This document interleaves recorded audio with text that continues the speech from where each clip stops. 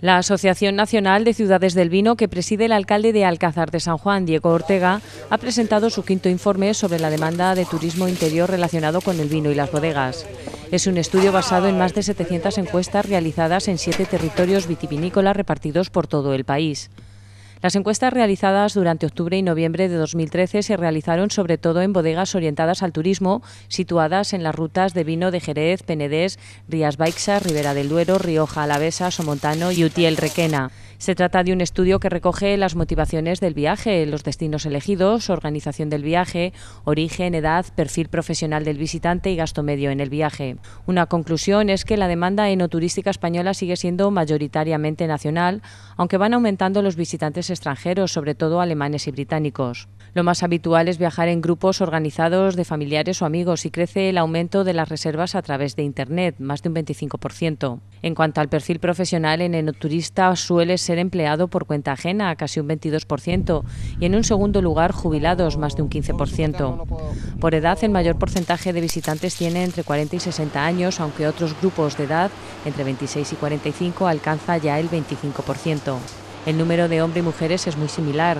En cuanto al origen, dentro del territorio nacional, el mayor número de aficionados al enoturismo proceden de Cataluña, casi un 25%, aunque también salen muchos viajeros de la comunidad valenciana, casi un 16%. Les siguen Andalucía y Castilla y León. En cuanto a las motivaciones que impulsan a los visitantes a acercarse como turistas a las rutas del vino entendidas como club de producto, los factores de atracción son la calidad de los vinos, el conocimiento en directo de las bodegas y los valores gastronómicos de la zona. También se observa un significativo aumento de actividades de tipo cultural como motivación para elegir el destino turístico.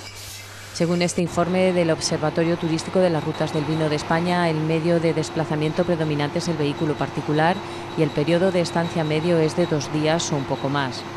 El alojamiento que más se elige es el hotel de cuatro estrellas, seguido el de tres estrellas y en menor medida los alojamientos de tipo rural que han bajado de un 14 a un 8,5% en 2013. En cuanto al gasto que hacen los turistas, se reparte en pagar alojamiento, en restauración y hostelería y en compra de vino para llevar.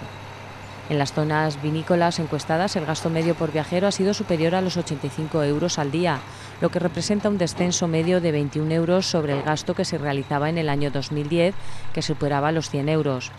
Hay una notable diferencia entre el gasto medio de los turistas españoles, casi 78 euros, y los extranjeros, 104.